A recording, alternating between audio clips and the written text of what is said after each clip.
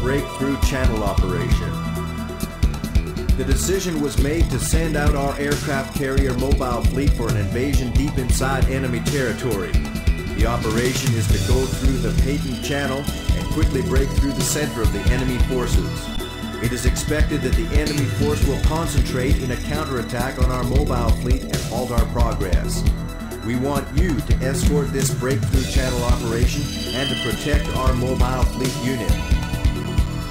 Target, the enemy fighters and the ground force.